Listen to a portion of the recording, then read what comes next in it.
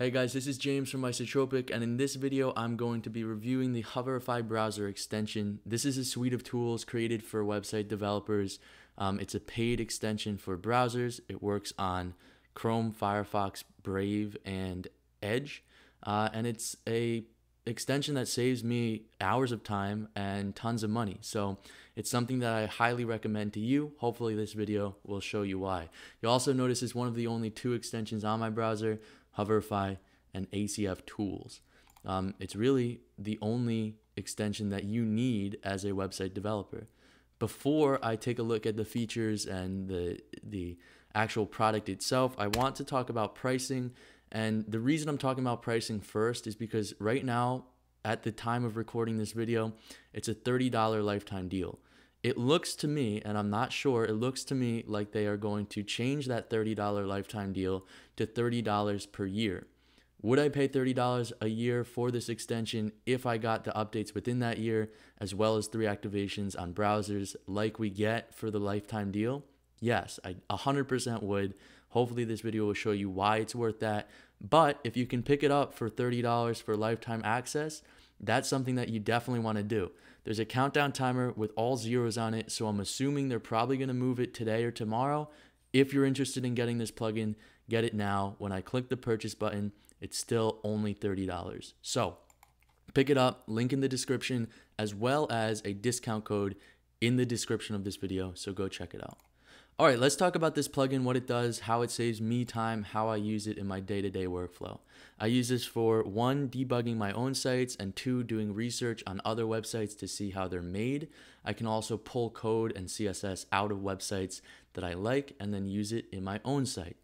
So um, when you click on the Hoverify extension, you get access to the whole suite of tools. And there are six main categories of tool. And then under each tool, there are additional features. So we have inspect, color eyedropper, assets, responsive, debug, and built with. The inspect tool is the one I use the most, and it's probably the core feature of this plugin. When we go to inspect, um, we essentially have created or went into a supercharged version of the standard browser developer tools. And what I mean by that is that it's going to do the same thing that an inspect element um, and looking at it under that de developer tool panel would do by giving us the HTML of the element um, and the CSS. But it also gives me the text, the colors, the length, the height, and the ability to copy it to copy all the code and copy it to CodePen. And I can use this to just understand how a website's built. So I know this is a link element. I know this is a list element. I know this is an H1 and then it's wrapped in a div and this is an image. I know the size of the image. I know the um, file size of the image. I know a lot of things from this panel of tools.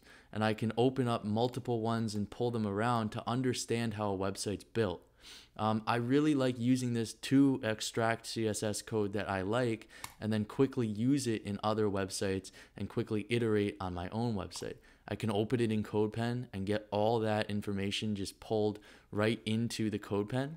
Um, and you'll see that it, it, follows the same overall styling. We have a linear gradient. Um, all we need to do is kind of pull in the uh, pull in the actual uh, the the actual font. Um, with that being said, that's kind of the core feature that I use this for. I really like using it to understand how my site and other sites are built. However, that's not the only feature that the inspect suite or the inspect portion of the suite of tools comes with. We can also kind of set up guides to understand how things are laid out on the website. So we can align various things based on that. Um, we can see how the entire website is made. Um, overall. And this is great to find things that are overflowing and causing layout issues. We can understand the fonts that are used on this website. So we'll see that all these various aspects of the website have this by default applied to it. Um, we can even edit live on the website the various content within. So I can change this to, or I can change this to, or if it wants to work for me, I can turn it on and then I can change the actual content within just to see how other words would work within the website. So I can see, oh, does this fit where I want it to fit? How does this work? Can I delete this element? What happens if I do delete this element? There are a lot of things that I can do here and just understand how the website works and really make a lot of quick edits and just do it in real time. So that's kind of how the inspector tools work. The additional features are um, writing custom CSS for yourself, writing custom JavaScript for yourself, and then searching for specific components within the website. As you can see, this is a system that can save you a lot of time. Um, I think it's a lot better in many situations than opening the developer tools and trying to compare and contrast the HTML to all of the code. However, in, in some situations, browser dev tools are better and easier to use. So I kind of use both of these interchangeably, um, but it's a great suite of inspection tools that make your life a lot easier. Something that I use even more than the inspect tools with Hoverify is the color eyedropper. And I know that the color eyedropper comes with Firefox. It's a very handy utility. I just copy paste various hex codes of colors. And this does the same thing, but it comes with a little bit more pizzazz. It gives you the ability to pick a color, but it also gives you the ability to see all the colors used within the website. And the colors that we pick can be saved on the screen and copied as RGB or a hex code, which is very helpful. And all the colors that I pick on the website are then uh, stored in my color eyedropper. So I can choose a bunch of different colors, store them in the color eyedropper. This is ever present on the browser, so I can hop into a new website and just copy the RGB code or copy the hex code um, and then use it in another website. So I could just paste it here and there you go. So that's a really helpful color eyedropper tool. I use that all the time. Another thing that is a time saving tool that minimizes the number of extensions I need in my browser is the assets tool. And this allows me to see all assets used within the website, images, SVGs, and videos. I can sort them. But the main thing here is that I can save all the assets into a zip folder. And this helps when trying to migrate pages from old websites to new websites.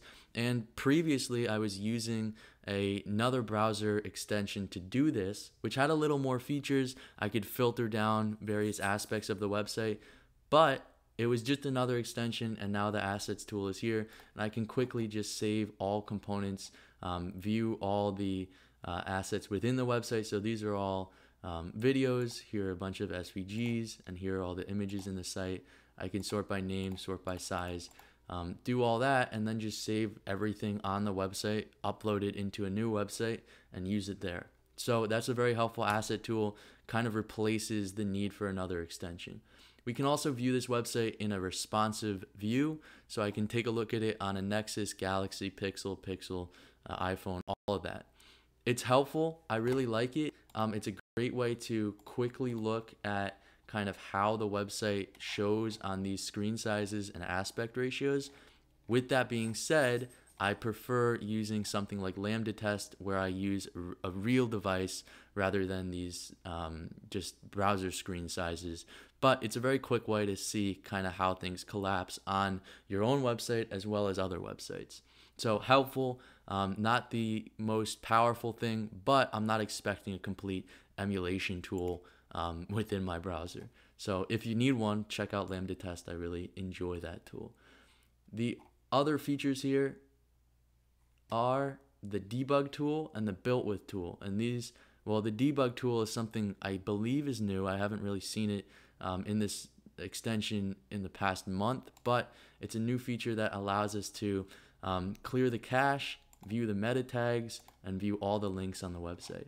I really like this links tool because I can find a link on my website, just copy, paste it into a new um, page or, or code or whatever I'm doing here. Um, just a very quick and helpful little debug panel. And um, this is a new feature, and the developer is continuously adding new features that actually are really helpful and save me a lot of time as a developer. So I, I believe um, this to be a really good, actively developed product, um, which is why I would be paying $30 a year. But luckily, I'm on the lifetime deal, and hopefully, you guys can hop on that too before that kind of closes up. The final feature here is a quick built with um, to understand the technologies and stack that the website's using. Um, it's kind of limited to the built with free features, but you're not paying for built with. Um, it just quickly will show you the hosting. So I can see that this is using a DigitalOcean droplet um, from Germany. Here are the IP. Here is the IP address. Um, here's the analytics and tracking that it's using.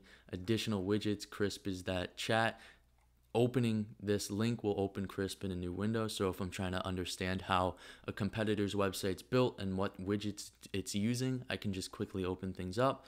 It's built with Next.js. It uses these additional tools. Um, it's using Paddle for payment processing. Um, here's a YouTube embed, and uh, here are just all the additional features that the website has and is built with. Really quick, um, very helpful for doing kind of basic stack research on other websites. So that is what this tool is. Right now it's available for a $30 lifetime deal. There's a discount code in the description of this video. There's also an affiliate link in the description of this video, which is helpful to me. It is used by 60,000 developers uh, or 6,000 developers.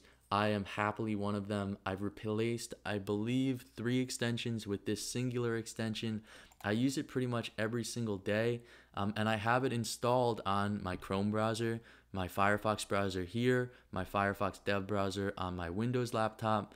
Um, I have it installed in all three places. Uh, licensing is really easy, and right now it's a $30 deal.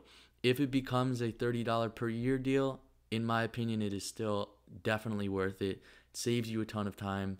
Um, it saves you from having to pay for online web services. It saves you from having to use poorly coded extensions that take more time than they're worth.